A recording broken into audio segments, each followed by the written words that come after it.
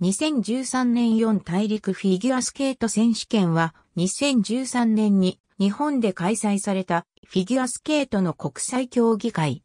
国際スケート連盟によるアフリカ、アジア、アメリカ、オセアニアの4大陸の各国選手を対象とした選手権大会である。2012から2013年シーズン開催の4大陸フィギュアスケート選手権。シニアクラスの男女シングル、ペア、アイスダンス種目が2013年2月6日から11日まで大阪市の大阪市中央体育館で開催された。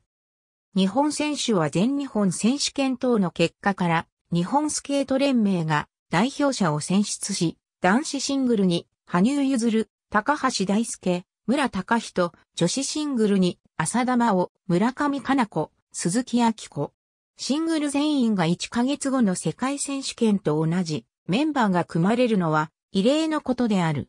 アイスダンスにキャシー・リード、クリス・リード組、平井恵美、マリオンデラ・アソンション組、ブリナオイ、水谷太陽組が参加した。男子シングルはケビン・レイノルズがシニア初タイトル。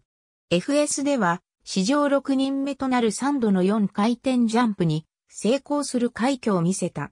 2度目の出場の羽生結弦は2年前と同様に2位。SP1 位で折り返すも、レイノルズの圧倒的な FS に押された形となった。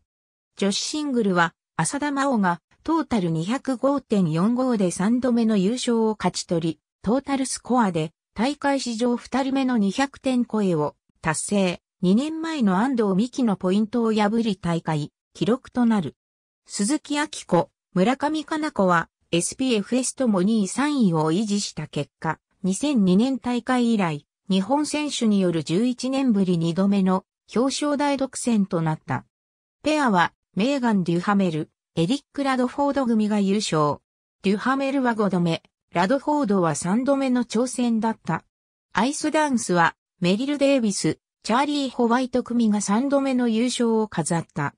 国際スケート連盟に加盟するヨーロッパ州を除く各国のフィギュアスケート統括団体に対し、種目ごとに最大3枠までの出場枠が与えられた。ただし、本シーズンは出場するにあたって最低限必要な技術点が定められている。本シーズン、または毎シーズン、国際スケート連盟が認める大会において、この技術点をクリアしていない選手、組は本大会に出場することができない。男子シングル男子、シングルメダリスト女子シングル女子、シングルメダリストペアアイスダンス。ありがとうございます。